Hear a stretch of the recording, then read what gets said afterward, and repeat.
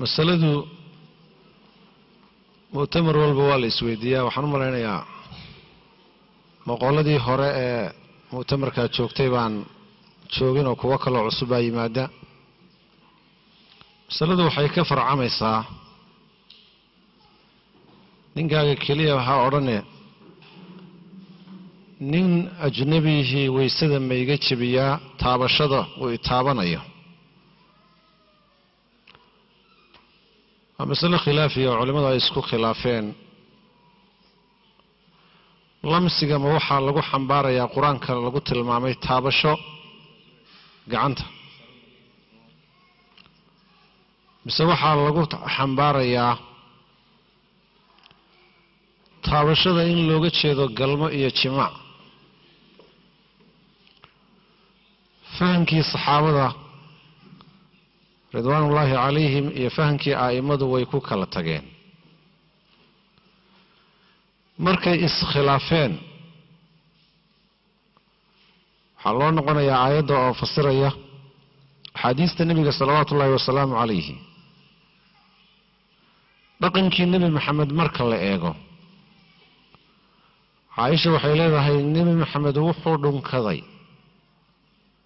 Haweenkiisa mid ka muduu dhunkaday mana weysaysan. Haddee taabasho iyo dhunkashadkeebaa xeel dheer. Dhunkashada xeel dheer. Caaisha waxay leedahay nebiga oo ku tukanaya masaajidka ku tukanaya habeen habeenada ka mid a. Ayay waxay u malaysay inuu guryihiisii kala aaday. Kadibna nebigoo tukanayay cirbihiisii taabatay. Mar kale saxiixeynka sida ku sugan nebiga hortiisay ku tukanaysay. Rasuulku markuu is yidhahdo sujuud. Lugihii lugaheeda waxay yaaleen nebiga salawaatu ullahi wasalaamu caleyh meeshuu ku sujuudi lahaa.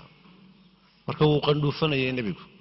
Markaasaan lugaha ka laabayay bay tiri xadiistaa iyo adiladaa marka la eego taabashada yacni labadii qof jidhkooda uu istaabto weysadii ma jebinayo cala alqowl araajix saa darteed ninkaagu weysada kaama jebiyo. Cabdullahi bnu cabbaas wakhtigiisii baa taabiciintu isku khilaafeen. Nimankii carabta ahaa waxay yidhaahdeen lamsiga qur'aanka ku soo arooray waxa weeye waa galmo ayaa looga jeedaa mawaalidii iyo dadkii aan carabta ahayn ee la xoreeyeyna waxay yidhaahdeen taabashaa looga jeeda saciid ibnu jubayr bay direen.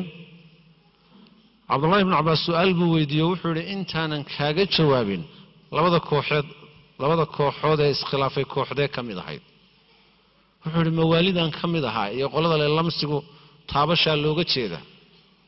Cabdullahi ibnu cabbaas wuxuu yidhi huliba fariiqu lmawaali waa la jebiyey kooxdii mawaalida. Wallahu aclam marka ninkaagu weysada kaama jebiyo